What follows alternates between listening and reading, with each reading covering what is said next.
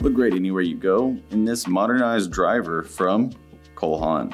This classic penny loafer design has an iconic strap across the vamp with a mock toe across the front. It has unique perforations to give it extra flair, made with a luxurious nubuck. Inside it's man-made, staying super breathable with extra padding at the heel for more comfort, while a foam footbed in the bottom is molded for a contoured shape for extra support.